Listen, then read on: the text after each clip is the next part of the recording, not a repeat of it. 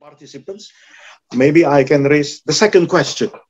Okay, uh, very shortly. Okay, um, redefining workforce. You mentioned, especially, um, I mean, engagement, redefining workforce engagement with extended reality. Um, workforce engagement is always a very crucial topic everywhere in every organization. How could extended reality, to be sure, helping and supporting workforce engagement? Hopefully, we can accomplish by almost 100% the engagement, but you have to also have some drawbacks. Okay, uh, could you explain to us, please? Thank you. Yeah, thanks. So one of the things is especially now in a hybrid workforce, uh, workforce engagement itself. Um, so we talk about VR, right? Virtual reality. Let's talk about uh, in terms of augmented reality. So in use of XR would enable in a hybrid workplace. Yep. It will it will it will close the divide of the physical uh, gap between employees itself in an environment. So I might have an employee who's in the office, then I have someone who's who's in in my work uh, at home. But uh, I'll give you a scenario as an engineer and a technician. A technician is in the office itself performing certain tasks. I have an engineer sitting at home. But in an ideal world, pre-COVID, the engineer would be beside the technician working with the technician and guiding them through the process of operations, employee engagement itself. So in that sense, operation wise. Now they can't. Extended reality would create a simulate that kind of an experience using technology. So the technician will still feel as though the engineer is standing beside me and working with me in that operation itself. So that's extended reality. That's how the, the workforce engagement happens. So this can also apply for just social interaction. So rather than having a Zoom discussion, so when, when you have that kind of a, a, a sense of uh, feeling, it, it gives rise to a lot of, of, of uh, uh, performances. Uh, because one of the things that has always has been the case is, I mean, whatever it is, humans are social beings. They they and as HR always you know has to en- ensure that. So this enables that. So whether it's in an operations settings, whether it's in a training setting, it allows that to happen, and that has shown. So that has shown in terms of where where two employees are interacting over Zoom, the effectiveness is not as high as when they are using XR technology. And in terms of productivity, the output, uh, whether it's even brainstorming, even when they're doing brainstorming, as you saw, right, in terms of using the whiteboards and so on itself, when they are in a virtual environment, the output, the productivity that's gained from that engagement is much higher than just having a Zoom discussion. So so that yes. so it, it, because it creates that kind of a, a, a feeling that they are together. Uh, the bonding is there in place itself. Uh, a, a, sense of uh, of comradeship is still there in terms of it. So th- this is where XR helps to it, it can't completely replicate a physical interaction, but it closes the gap very much itself. I mean, as I said, as technology goes, it might end up like you know you are physically there. Uh, but right now it is closing the gap more and more. Yes so does yes. that help uh, saka? Yes yes yes yes. Thank you very much. Yeah. i'm still waiting for the uh, question from the participants. Um, now the third question from me as participant as one of the participants. Okay.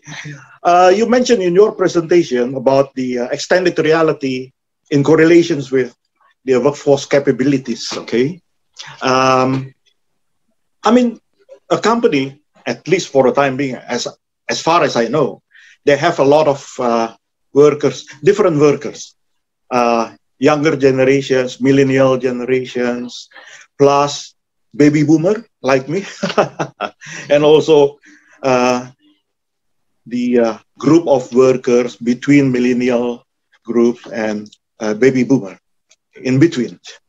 Uh, those have different capabilities, I believe. Okay, and sometimes it's sometimes very difficult to coordinate, to synchronize those capabilities, especially if you are uh, developing something quite new in a company like extended reality, for an example. Okay, could you give us uh, a certain insights that what should be done by companies which really have such kind of very high diversity in terms of workforce. Yeah. So this comes back to the larger picture of digital transformation. It's not just XR. So HR, one of the first things when you talk about digital transformation, you need to look at the readiness of your workforce. So uh, that includes mindset change. So if you talk about baby boomers, their mindset might not be changed. They might be more happy. They say, you know, I'm not going to use much technology and so on itself. Whereas if you're talking about the Gen Z, uh, they pretty much embrace digital technology. So first things first is you need to identify the readiness of the different demographics, and you need to have that mindset change. And this is in large, not just XR, digital transformation, whether you're going to implement certain HR technologies or so, uh, and, and you need to make sure that you know the digital literacy literacy understanding is that the digital literacy capability is there for the different device. The third piece is then how do you enable the digital engagement with the different workforce? I'll, I'll give you one example again, as I shared with you is when we looked at deploying this XR, when when it was when we looked at deploying this, some of the baby boomers, in that sense, uh, who have been working, they were not ready to use headsets. They were comfortable to use mobile phones. They were comfortable to use tablets. So what was done is for them, you create that XR experience on a tablet. Whereas you talk about the Gen Z who, who do gaming and all those things, they are very excited to use the headsets. So then, so you enable the XR experience application using the headsets itself. So you would need to have different ways of engagement for the different target audience itself. And so that that become a challenge in organizations. So it's not like you know uh, one you just have a one solution and just cut it across organization. The the the baby boomers, or I mean, not necessarily baby boomers. I have come across uh, there are many who are uh, even millennials who are not ready for for using this kind of a level of technology. So there is a transition phase in place. So it, first things first, mindset change. They need to know why, why they need to change, you know, uh, and then uh, building the digital lit- literacy, the digital literacy on, of them understanding the technology and how to use the technology. Third is having a kind of a differentiated approach when it comes to engaging the workforce using the technology, depending on their level of readiness, and gradually you increase that. So you don't go straight away to uh, going with XR, you start with VR, which is much easier for someone to consume or use it, whether it's learning or for operations or for collaboration itself. So, so you need to go through that spectrum itself. Um, again, not just XR. I would always say HR's bigger challenge would be then when you talk about digital transformation and driving digital transformation, the workforce readiness is number one you need you need to make sure that you need to get the workforce ready because you can have the best technology, best solution, best infrastructure, but if the workforce is not ready, they're not going to use it. They're not going to engage in it. Yes, thank you very much. A very good answer.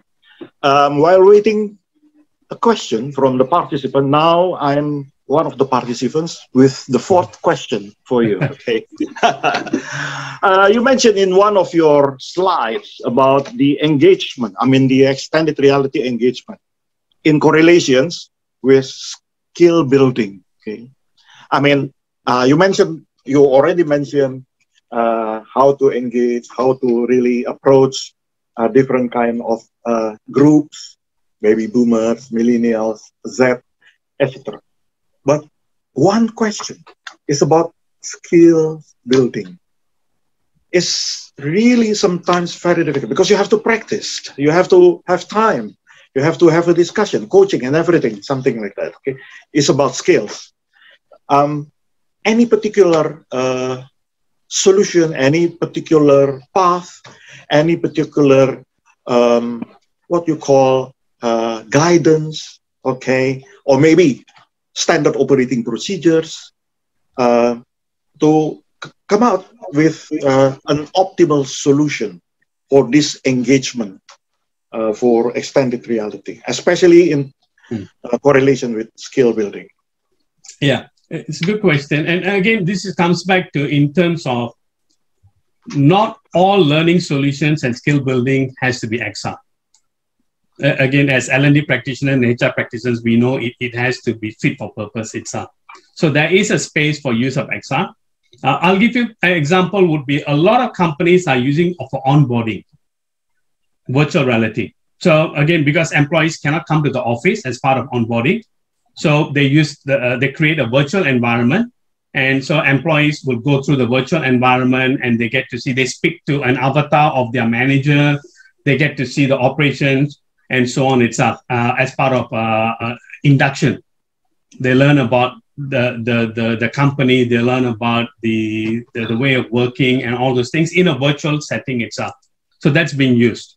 And in other skill buildings, like especially in in technical trainings, that's moving towards using digital uh, assets itself. Because this is where, as I shared with you, right, in, in uh, you are not able to support that in a physical environment. So you create that kind of a, a, a virtual environment in terms of it. Third, where it's moving is even coaching and mentoring. Coaching and mentoring, if you see that we talk about digital humans, right? So some companies who are advanced are using uh, AI bots or even using AI human digital human assets to have that training on, on, on mentoring and coaching itself.